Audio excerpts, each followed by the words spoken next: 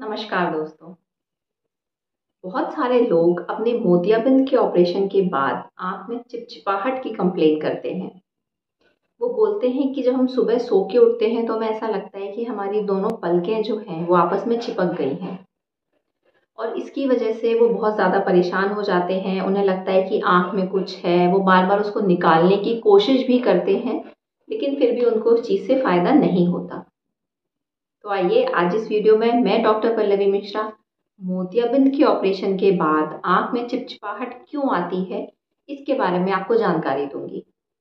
इस वीडियो में हम सबसे पहले बात करेंगे कि ये चिपचिपाहट आती क्यों है, और उसके बाद मैं आपको बताऊँगी कि इस इस चिपचिपाहट के लिए मरीज़ को क्या करना चाहिए।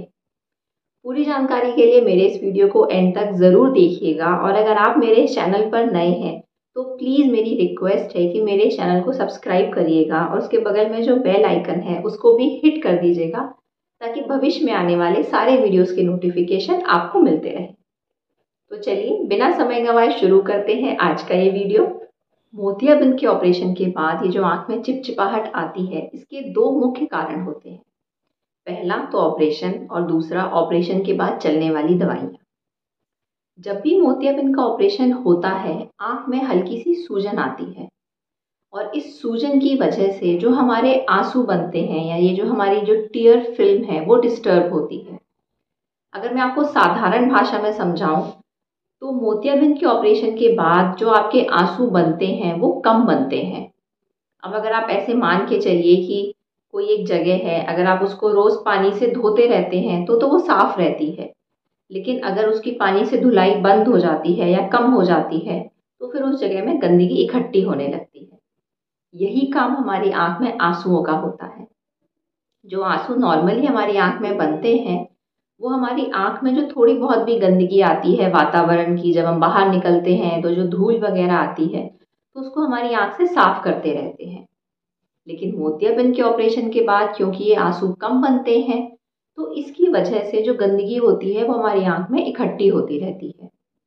और जब भी हम कहीं बाहर जाते हैं तो भी थोड़ी बहुत धूल वगैरह जो हमारी आँख में जाती है, वो भी हमारी आँख में ज़्यादा जमा होती है।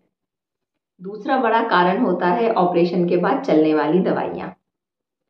ऑपरेशन हर ऑपरेशन के बाद मोतियाबिंद के कुछ आई ड्रॉप्स होती हैं, जो मरीज़ को दो हफ़्ते तक या कुछ आई ड्रॉप्स एक महीने तक डालनी होती अब ये आई ड्रॉप्स भी, कुछ आई ड्रॉप्स तो बिल्कुल पानी जैसी होती हैं, लेकिन कुछ आई ड्रॉप्स जो होती हैं, वो काफ़ी गाढ़ी होती हैं, वो बहुत थिक होती हैं। और क्योंकि वो थिक होती हैं तो इसकी वजह से वो भी हमारी आँख में और हमारी पलकों पर ऐसे जमने लगती है। तो इन दोनों की वजह इन दोनों चीज़ों की वजह से मरीज़ को आँख में चिपचिपाहट महसूस होती है। और क्योंकि पूरी रात भर हम सोते रहते हैं, और सोने की वजह से जो हमारी पलकें हैं, वो हम झपकते नहीं हैं तो इसकी वजह से जो चिपचिपाहट होती है, वो सुबह के समय सबसे ज़्यादा होती है। अब आती है सबसे मुख्य बात कि इस चिपचिपाहट से हम लोग निजात कैसे पाए। वो मैं आपको आगे आने वाली वीडियो में बताऊँगी, लेकिन उससे पहले अगर आप अभी भी मेरे चैनल पर बने हुए हैं तो प्लीज़ मेरे चैनल को सब्सक्राइब करिएगा और इस वीडियो को बाकी लोगों के साथ में शेयर करिएगा। अब बात करते हैं कि ये जो आँख में हमारी जो चिपचिपापन हो रहा है, इससे निजात कैसे पाए। सबसे पहले जो सबसे ज़रूरी बात है, वो ये है कि आँख की सफ़ाई रखें।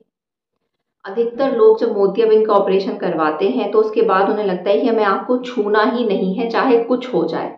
वो आँख में हाथ नहीं लगाते हैं, ना वो खुद सफ़ाई करते हैं, ना वो किसी और को उनकी आँख की सफ़ाई करने देते हैं, जबकि ये बहुत ही गलत चीज़ होती है। कोई भी गंदी चीज़, गंदा हाथ, गंदा कपड़ा अपने आँख में मत लगाइए, लेकिन आँख की सफ़ाई बहुत ज़्यादा ज़रूरी है। आँख की सफ़ाई आप दो तरीके से कर सकते हैं। या तो आजकल अवेलेबल आई वाइप्स आते हैं, जो कि आप ऑपरेशन के बाद उससे आँख को पोंछ सकते हैं। या फिर अगर मैं घरेलू तरीका बताऊँ तो एक बर्तन में साफ़ पानी लीजिए, उसमें रुई डालिए और उसको अच्छे से उबालिए।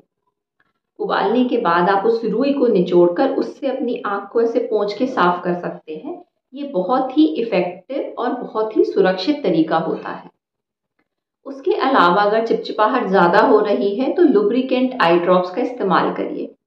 Lubricant eye drops over the counter available होती हैं, जैसे कि रिफ्रेश टीयर्स या फिर रिफ्रेश लिक्विड उसके अलावा एक बहुत ज़रूरी बात कि आई शील्ड या ऑपरेशन के बाद जो प्रोटेक्टिव आई ग्लासेस हैं, उनका इस्तेमाल करिए।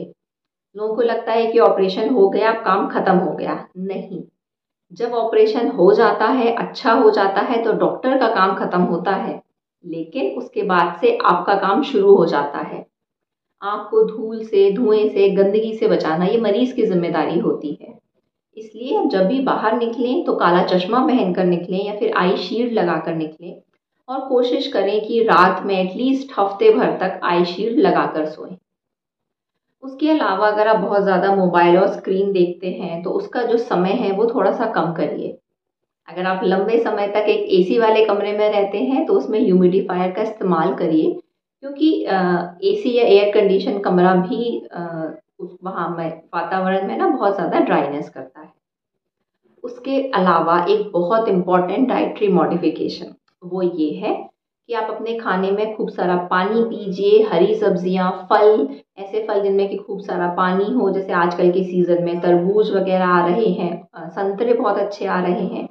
और उसके अलावा आप ओमेगा थ्री फैटी एसिड्स का इस्तेमाल करिए एक गोली आप रोज़ ले सकते हैं। तो अगर आप मोतियाबिंद के ऑपरेशन के बाद आप अपनी आँख में चिपचिपापन महसूस कर रहे हैं तो मेरे द्वारा बताए गए इन तरीकों का इस्तेमाल करके देखिए और मुझे नीचे कमेंट बॉक्स में बताइएगा कि आपके लिए इनमें से कौन सा तरीका कारगर रहा? आँख की बीमारी के संबंध में किसी भी जानकारी के लिए आप मुझे नीचे दिए हुए नंबर पर व्हाट्सएप कर सकते हैं।